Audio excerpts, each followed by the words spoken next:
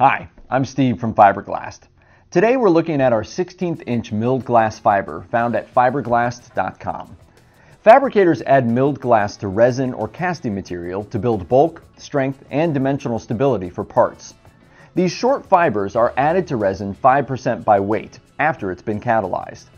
Because milled glass is chemical resistant, it's often used with vinyl ester in putty form for deep blister repair on boats. Milled glass also helps reduce shrinkage and increase modulus for parts, which makes it popular with electrical and automotive components. When it comes to milled glass fibers, both length and bulk density are controlled by the hammer mill screen used to process the glass. In this case, the 16th inch refers only to the hole diameter of the screen, and fiber lengths may vary up to this dimension. This is part number 29 at fibreglast.com, where you can find more details.